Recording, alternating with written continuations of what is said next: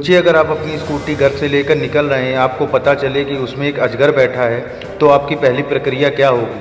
ऐसी ही घटना हरिद्वार के भीमगोंडा क्षेत्र से सामने आई है। यहाँ एक युवक अपनी स्कूटी को लेकर सर्विस कराने गया था। मैकेनिक ने जैसे ही इंजन खोला तो उसमें छोटा एक अजगर मिला। उसे देखकर वहाँ पे हड़कंप मच गया। आनंद फानंद में वन विभाग की टीम को फ़ोन किया गया। टीम ने मौके पर पहुंचकर छोटे अजगर को रेस्क्यू किया। Bureau report, IPN.